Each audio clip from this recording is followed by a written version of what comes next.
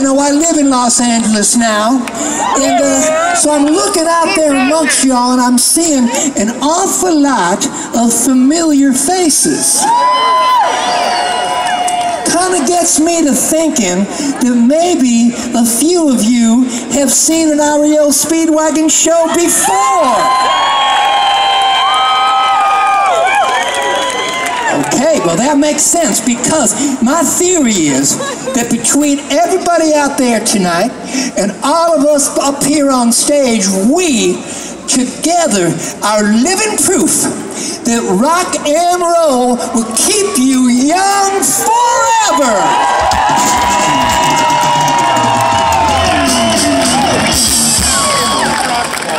But of course, we have to play a love song every once in a while, right?